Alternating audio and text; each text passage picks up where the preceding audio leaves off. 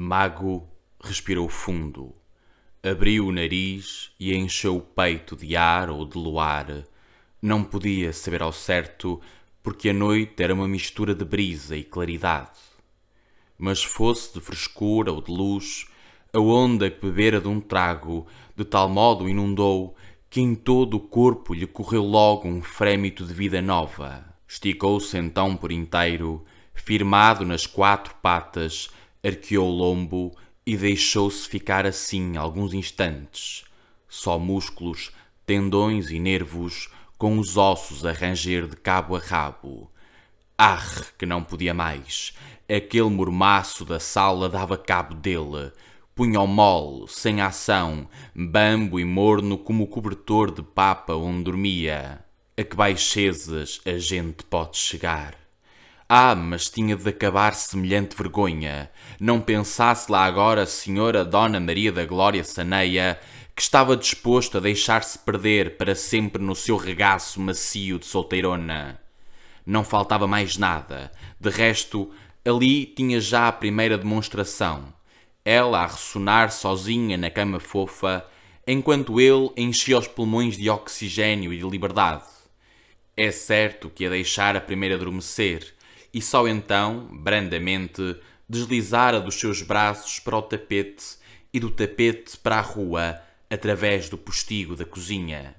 Uma questão de delicadeza apenas, porque afinal não havia vantagem nenhuma em fazer as coisas à bruta e ofender quem só lhe queria bem. Que diabo! Sempre era a senhora Dona Maria Saneia, a que até um fio de ouro lhe comprara para o pescoço que, considerando bem, por essas e outras, é que chegar àquela linda situação. Ouvi dizer que já nem sardinhas comes. Essa agora é todos os dias. E que nunca mais caçaste? Ainda esta manhã? Piadinhas do lambão. É claro que os mimos da dona Saneia lhe haviam deformado o gosto. Meti-lhe os petiscos ao focinho, tentava-se, e havia por onde escolher de mais a mais. Quanto a ratos, que necessidade tinha de perder o tempo, debruçado três horas sobre um buraco, sem mexer sequer a menina dos olhos, à espera de um pobre diabo qualquer que ressonava lá no fundo? Deixá-los viver. As coisas são o que são. Em todo o caso, ainda comia a sua pescada crua e deitava honradamente a mão a uma ou outra borboleta branca sem falar nas andorinhas novas e nos pardalecos que filava por desfastio na primavera. Que demónio, mais seria exagerar. Mas que não sais de casa, sempre agarrado às saias. Na verdade, saía pouco. Outros tempos, outros hábitos. Banqueteava-se e ficava-se pelas almofadas. Digestões difíceis, vinha-lhe um migalho de sonolência. Às vezes tentava reagir, mas o raio da velha mal o via pôr o pé na soleira da porta, perdia a cabeça. Parecia uma sineta. Mago, mago, bicho, bichinho! Regressava aos lençóis, contrariado, evidentemente. Mas quê? Era o pão, o pãozinho da boca. Que remédio se não torcer caminho e, com as unhas discretamente recolhidas, continuar as carícias de algodão em rama no cachaço da dona e que deixaste a faísca. Eu? Que anda metida com o zimbro. Pelo menos é o que consta. Que teve até cinco pequenos dele. Meus! Muito meus! Do meu sangue! Pantominice. Um triste chanato na honra do convento. Paleio de chavelhudo manso. A ninhada pertencia inteirinha ao zimbro. Até pela pinta se via, todos com o mesmo olhinho remeloso do pai, um parrana realmente, embora o não confessasse. Os mimos da Dona Saneia tinham-no desgraçado. Ah, mas a coisa ia mudar de figura. Estava farto de ser desfeiteado. Ainda há bem pouco tempo chegara-se ao pé da mulher disposto a impor a sua autoridade. Ouve lá, disseram-me que nos andas a pôr para aí com todo o mundo? E recebe esta pelas ventas. Bem haja eu, bem hajas tua. Nunca guardei respeito a maricas. Só a tiro. Mas a verdade é que a faísca tinha razão. Lá de ano a ano é que vinha procurá-la e isto de gado fêmeo quer assistência. Além disso, pesadão, desconsolado e até esquecido dos ganidos dessas horas. Uma vergonha. Aparece logo à noite pelo Tinoco, à reunião. E adeusinho. Adeus, lambão. Foi no quintal, à tarde, quando a dona Saneia dormia à cesta. O antigo companheiro, empoleirado no muro, rondava a cozinha da vizinhança onde assavam carapaus. Por acaso, chegar à janela nesse momento, vira-o e fizera-lhe sinal. E o outro, de boa ou de má fé, abrir o saco. Mas há males que venham por bem. Depois da conversa, pensara maduramente no caso, e ele estava agora disposto a ressuscitar daquela vida perdida em que o destino metera. Sim, ali estava, a dois passos do Tinoco, o clube da gataria do bairro, bem situado, com saída para dois quarteirões, fora fundado pelo maior valdevinos da geração, o Hilário. Era um telhado corrido, quase plano, amplo, alto, mas de onde se podia cair de qualquer maneira numa aflição. Um achado. Como a casa servia de armazém, o Hilário viu de relance as condições do local.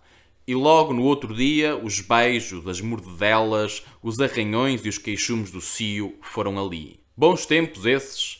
Namorava então a boneca, uma gatinha borralheira da gente se perder.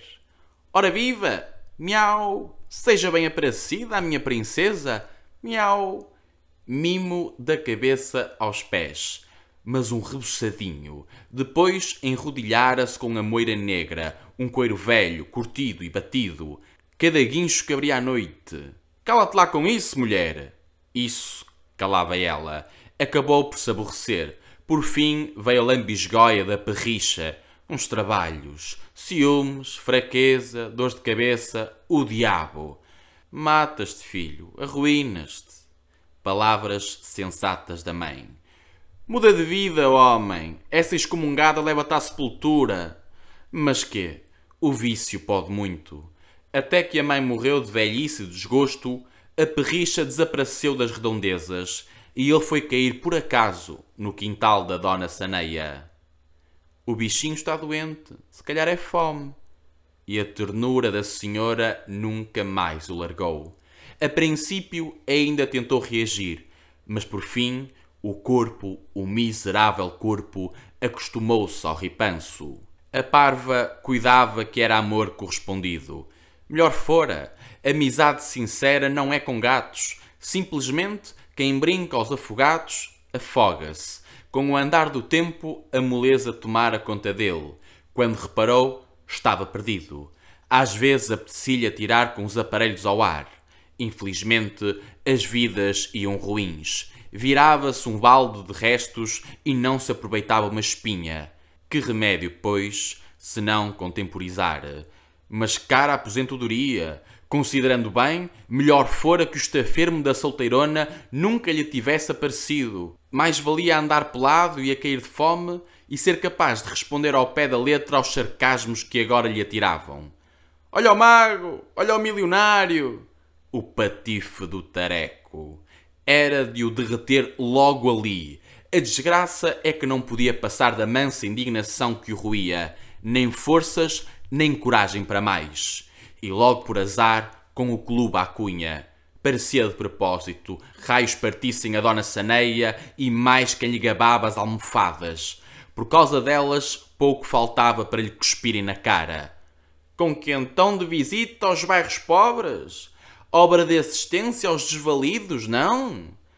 Até o bandido do Zimbro, vejam lá, o engraçado, não contente de lhe roubar a mulher, de lhe pregar um par deles do tamanho de uma procissão, vinha ainda com provocações à vista toda a gente. Ah, mas estava redondamente enganado se cuidava que não recebia o troco devido. O cavalheiro seja mais delicado. Reparem nas falinhas dele a tratar os amigos por cavalheiros. Amigos? Eu não tenho amigos da sua laia. Pesam-lhe na testa, coitado. Desembestou. Cego da cabeça aos pés, atirou-se ao abismo. Infelizmente, as incenchas do zimbro eram outras. Tinha raiva, tinha dentes, tinha unhas e folgo. Contra tais armas que podia a senha de um pobre mortal gordo e lustroso. Servir de pombo da festa. É que nem a primeira acertou. Ágil e musculado, e com a maleabilidade de uma cobra, o inimigo furtou-se à sua fúria e ripostou a valer ao golpe esboçado. Depois foi o bom e o bonito. A seguir uma saraivada de investidas traiçoeiras, meia dúzia de navalhadas de liquidar um homem. Só visto. No fim da luta, quando já não podia mais e se confessou derrotado, sangrava e gemia tanto que até um polícia embaixo, na rua estreita, se comoveu. O clube, esse, parecia doido de alegria. A faísca rebolava-se no chão de contente. Fugiu desvairado pelos telhados fora. A lua, cada vez mais branca lá no alto, olhava-o com desdém. A cidade, adormecida, parecia um cemitério sem fim da torre de uma igreja saía um pio agueirento. Jogara naquele lance o resto da dignidade e perdera. Dali por diante seria apenas uma humilhação sem esperança. Ele, que tivera nas mãos possantes e nervosas o corpo fino e submisso da boneca. Ele, o escolhido da moira negra. Ele, o companheiro de noitadas do Hilário. Ele, mago, relegado definitivamente para o mundo das pantufas e dos tapetes proibido para o resto da existência de pensar sequer numa bufarada da úmida frescura que agora lhe atravessava as ventas e lhe deixava cantarinhas no bigode. Condenado para sempre ao bafio da maldita sala de visitas da Dona Saneia. Negra sorte, e tudo obra do coirão da velha. Se não fosse ela, em vez de ir ali esquadrilhado e a mancar da mão esquerda, estaria no Tinoco a soltar ganidos como os outros, depois de ter feito o zimbro em pedaços. Assim, arrastava-se penosamente por aquele caminho de desespero, tal e qual o moribundo a despedir-se da vida. Miséria de destino, vesado, vencido, retalhado no corpo e na alma, e tudo obra do estupor da santanária.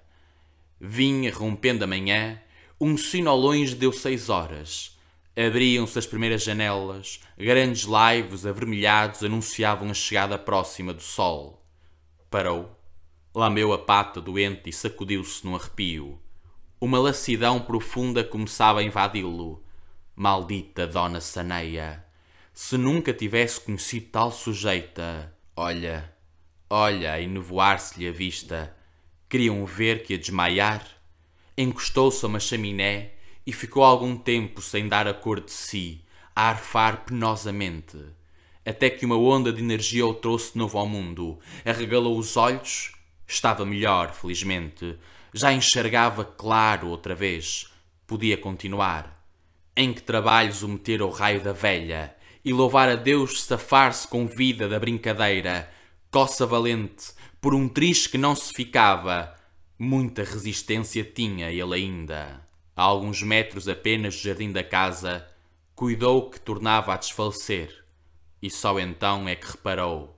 Deixava um rastro de sangue por onde passava. Fez das tripas coração e lá conseguiu equilibrar-se e chegar ao pequeno muro que vedava o paraíso da sua perdição. Saltava, não saltava, que infâmia regressar aos mimos da Dona Saneia. Que nojo, que ordinarice.